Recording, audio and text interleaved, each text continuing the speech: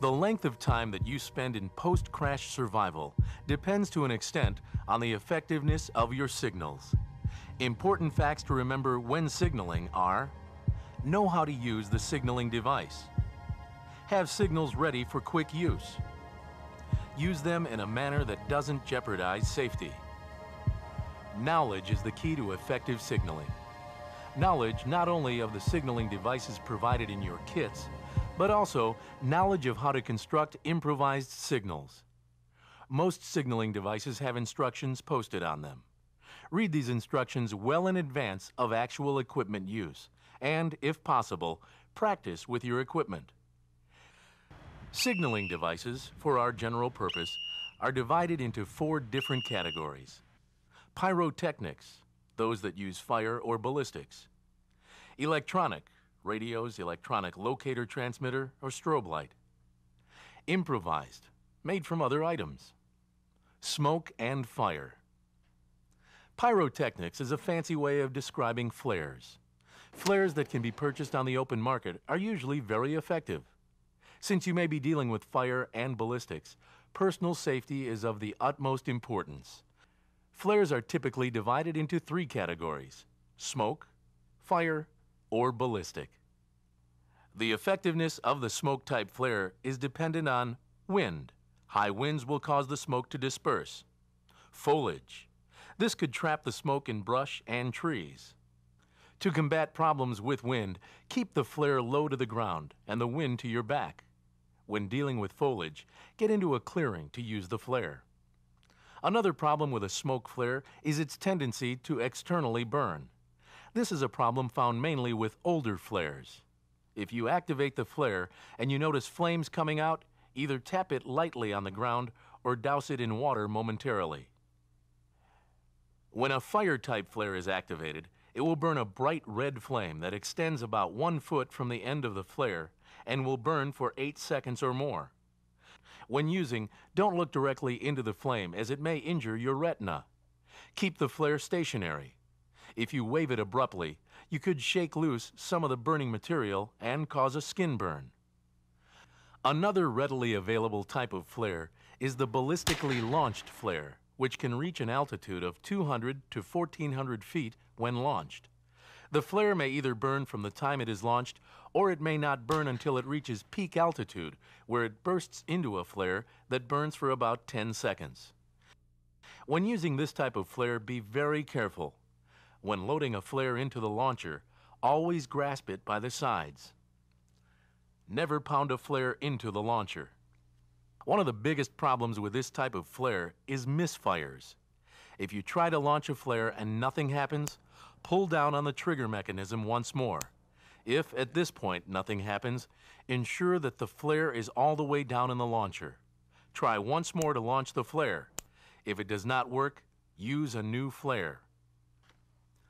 Always keep flares and launcher pointed away from you and others.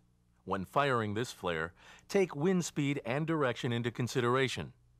Try to position flares directly overhead.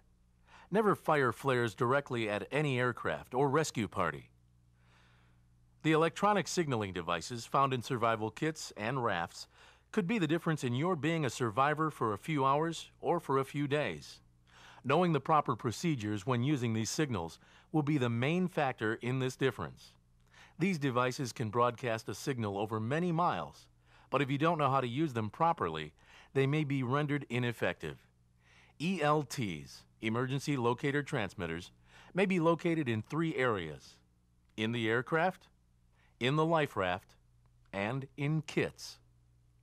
The ELT located on the aircraft is the one that is probably most overlooked. This is an emergency radio transmitter that operates from its own power source on 121.5 MHz and 243.0 MHz. It aids in locating downed aircraft by radiating an audio tone two to four times per second. It should function automatically after a given jolt or impact, as would occur in an accident. The inspection of this ELT is often left up to the maintenance personnel. However, the ELT should be regularly checked by the pilot, either visually or audibly. To visually check the ELT, select the test mode and check the indicator light. To audibly check the ELT, you must dial the aircraft radio to 121.5 MHz, place the ELT in the test mode, and listen for the swept tone. You are limited to three sweep tones, and it needs to be accomplished during the first five minutes of any hour. Additionally, it will also be a good idea to tune the radio to 121.5 MHz after hard landings to see if the ELT was accidentally activated. ELTs work in conjunction with the SARSAT, Search and Rescue Satellite System. When the ELT is activated after a forced landing, an omnidirectional swept tone will be broadcast on 121.5 MHz and received by orbiting satellites. The satellites will then relay the signal to a local user terminal. The LUT then processes and pinpoints the signal back to the source. This system can pinpoint your location within 10 nautical miles. A handheld aircraft transceiver is another item that can save your life. It gives you the advantage of two-way communication. When using transceivers, consider the following. Activated ELTs, aircraft or raft ELTs, will override the voice capability, especially when using 121.5 MHz. Line of sight. The signal can be blocked by obstacles, terrain, or foliage. Cone of silence. There is an area at the top of an antenna where a signal cannot be heard. Remember, when using an aircraft radio transmitter, turn off all working ELTs. If an aircraft is approaching and you are attempting to communicate with it, don't point the antenna directly at the aircraft, as this will put the aircraft in the cone of silence. Try transmitting on two frequencies. 121.5 MHz is the international distress frequency, and 243.0 MHz is the military guard frequency. If you're not sure of what type aircraft is approaching, try both frequencies to establish communication. The aircraft's radio may still function even after the crash. If you are able to get to it, try to see if it can be used, but make sure that you give enough time for the aircraft to cool and eliminate the chance of fire. The strobe light is an electronic device that emits a continuous flashing light. If used in a continuous mode, it will continually flash for about nine hours. It will be a judgment call either to let it continuously flash or in cycles. The only consideration would be that an aircraft may be able to see the light before you hear the aircraft approaching. But again, this is going to be a judgment call. Another effective signal could be improvised using the aircraft battery with salvageable aircraft lights. However, this is risky because of the fire and chemical hazards of the battery.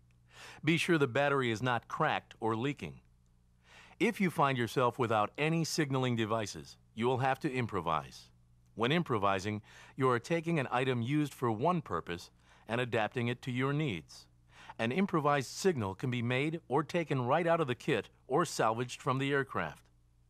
How you improvise is basically limited by your own imagination. When surveying all your survival resources, have an open mind. If you cannot use a particular item for its intended use, use it for something you need. The salvageable parts from your aircraft are a virtual treasure chest of survival needs. The signal mirror is considered by many as the most effective signaling device you can carry. Flashes from signal mirrors have been spotted over 25 miles from their source. A signal mirror works best on clear sunny days but is still effective even on cloudy and overcast days.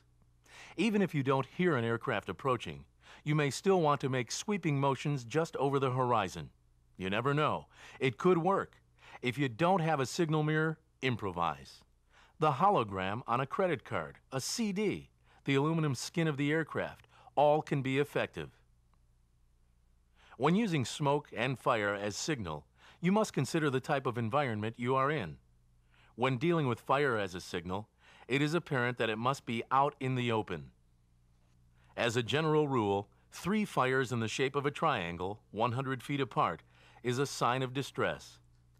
Three fires in a straight line along a creek or river are also an international distress signal. But any fire out in the open will be just as effective. An old signaling trick is to torch a lone evergreen. Find an evergreen that is isolated from the group. Basically, what you want to do is to build a bird's nest of tinder on one of the lower boughs. When you hear an aircraft approaching, light the tinder and stand back.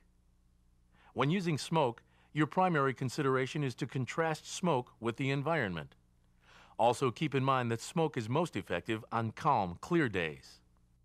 In light or snow-covered environments and on cloudy, overcast days, use black smoke. In a dark or forested area and on clear days, use white smoke. To produce a black type smoke, you should burn coniferous trees such as evergreens, any petroleum product, JP4, hydraulic fluid, oil, any rubber or plastic-based items such as tires. Note, when burning any rubber or petroleum products, keep out of the smoke. It may contain toxic compounds. To produce a white smoke, try burning the following. Green wood, green or dry leaves, moss, peat, or ferns. The effectiveness of your smoke will generally depend on how high the smoke can rise. The hotter the fire, the higher the smoke will rise. To further enhance white smoke, you can activate a smoke generating flare to enhance the signal. It is also possible to communicate a specific message to an aircraft flying overhead without having a two-way radio. The shapes that you make should be designed with a 6 to 1 ratio, preferably 18 feet high by 3 feet wide. When you use a surface to air rescue code, keep in mind the acronym CCLAS. C Contrast. It should contrast with the surrounding environment. C. Condition. Keep the signal in good repair and keep an eye on weather conditions. L. Location.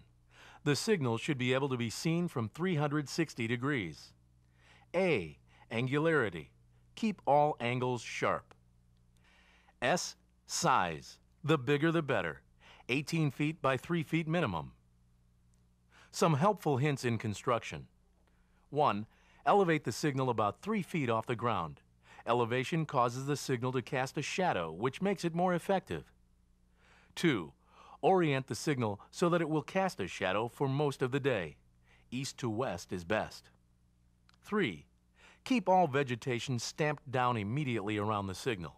It will make the signal look even bigger. In snowy areas, simply stamp out any letter of the alphabet. Lining it with pine boughs or green vegetation will also enhance the signal. Here are some basic considerations for signaling in specific regions. Tropics. In the tropics, set up fires and other signals in natural clearings and along edges of streams. Signals under dense growth won't be seen. Transceivers are your best method to signal. Carry an extra handheld unit. 2.